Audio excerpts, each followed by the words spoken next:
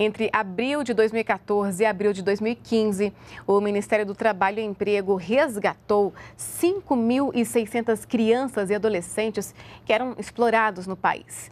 Ao todo, foram realizadas no período quase 10 mil operações fiscais para apurar denúncias de trabalho infantil. Pernambuco foi o estado com o maior número de resgates de crianças e adolescentes, seguido de Minas Gerais, Mato Grosso do Sul, Goiás e Sergipe.